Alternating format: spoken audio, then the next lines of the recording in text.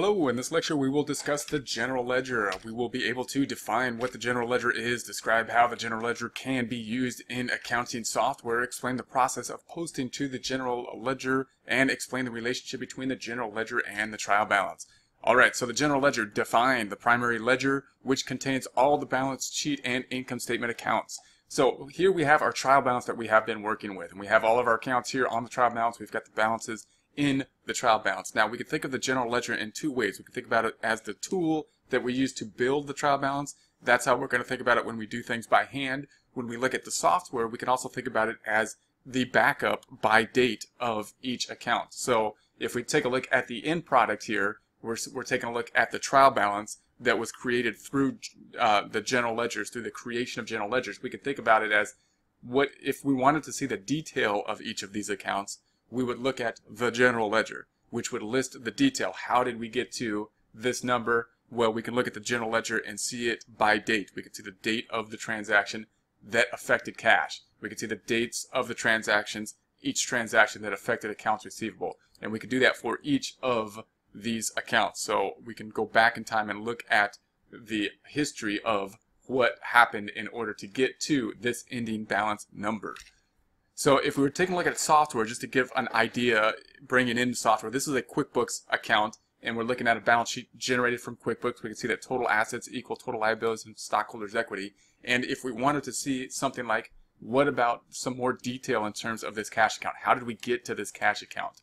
We could drill down on that and look at a, an account that would be similar to a general ledger. So it would look something like this. QuickBook calls it a transaction by account. It's going to be similar to a uh, general ledger type account and you can see that we have the transactions that are in order by date. And this gives us some more detail than that. It gives us the type of account, the number, but we're concerned with the fact that it shows us what happens in order by date, and then it has basically a T account here. We see our T account, and we see our debits and our credits, and then it gives us our running balance. So here's the balance that we saw on the balance sheet. Here's the history of it by date. We debited it, it increased. It's a cash account. Then we credited it, it decreased, decreased, and so on. So that's how it would look in one form of software.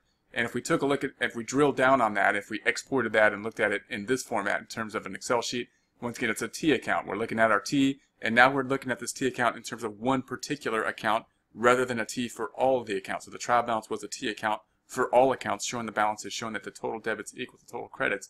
When we look at each individual account, the debits and credits will not be equal for each individual account because we're going to see that one account will, one side will be winning depending on the type of transaction. So let's take a look at that. For example, cash. Cash is an asset. Uh, we'll have a similar type of, of format for all assets. Remember that assets have a debit balance represented by the fact that it doesn't have brackets here. And what that means is that if we add up all of the debits and credits, the debits will always win. In cash, we know it's the debits will win. So if we're taking a race between the debits and the credits and we're betting on the winner, the debits are always going to win in an asset account. That means that if we have a debit balance here and we debit it, such as this transaction got posted here, we're not seeing the other side, which got posted to the sales. We see this get posted here, and we're going to say, well, what's that do to a debit balance? Well, we did the same thing to it. That balance is going to go up to here.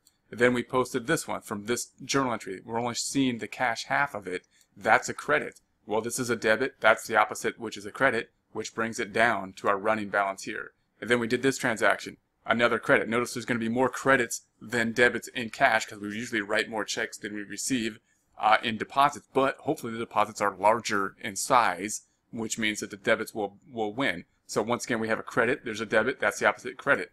And then we have the cash here. This is a debit balance account. That's the opposite, making it go down. So the debits will always win. If we added up all the debits from the history of the cash account and all the credits and we subtracted them out, the debits would be winning by uh, 613940. That's the amount that's reported on the trial balance. Now you might be saying, well, it's possible that the credits could win. What if I wrote a check for, you know, $700,000? Then the credits would be beating the debits, right? That would flip the sign.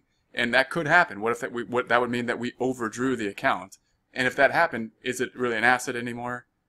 Even though it's our checking account, no, it's a liability. It flips to a liability. We owe that money back. So if the credits win in the checking account, that means we have no checking account. That means we have an overdrawn account, which is a liability. So if we take a look at that in terms of the general ledger as a whole, what we're saying is that account that we just looked at in terms of all the accounts is part of, is what builds the trial balance. That ending balance is the trial balance. We can see that we have a, a similar GL account for every account, which would show the detail. So we can see the detail here of the accounts receivable being this number. We can see the 12 here. We can see this here. So we have the same type of detail for each account. We're concentrating on cash in this case. If we took a look at the accounts receivable, same type of thing. Accounts receivable is an asset. Assets go up with a debit, so we debited it here. Increasing, that's a debit, that's a debit, increasing it. That's when an invoice went out. We sent an invoice out, increasing the receivable. Then we got paid. So now we're decreasing the receivable. That's what's always going to happen in the receivable account. Debits are always going to win. Either people owe us money or nobody owes us money.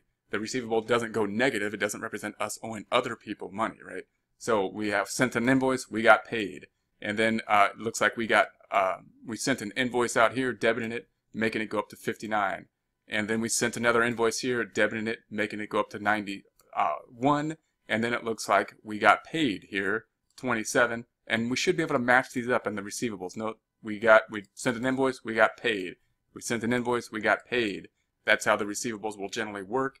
Um, and if we looked at that in context, once again, now we're looking at the receivable account. We're concentrating here. We can see that 64,000 here. That shows the backup of the number on the trial balance, just as it would for you know all the other accounts on the trial balance in this example.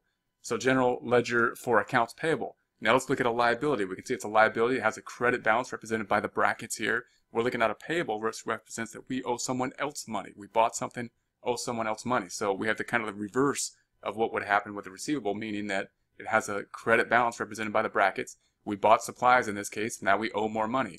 That's a credit, this is a credit, makes the credit go up. Then looks like we paid the supplies, so now we debit it. That's a credit, that's a debit, makes it go down. And then we, uh, accounts payable went up again. We bought auto service. That's a credit, that's a credit goes up. This is a credit, this is a credit goes up. And then it looks like we paid off the balance again. We paid off kind of like paying off a credit card balance. That's a debit, that's a credit, makes it go down. That's what's going to happen in accounts payable. We're going to charge here, and then we're going to pay it. Then we're going to charge, and then we're going to pay it. Might not happen uh, in sequential order like that, but we should be able to tick and tie out the debits and the credits in that way. If we looked at this in terms of the context of the chart of accounts, we're looking at accounts payable here, concentrated on that liability.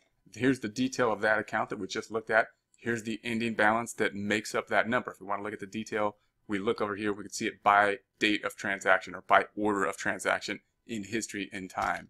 So then we are now able to define the general ledger, describe how the general ledger can be used in accounting software, explain the process of posting to the general ledger, and explain the relationship between the general ledger and the trial balance.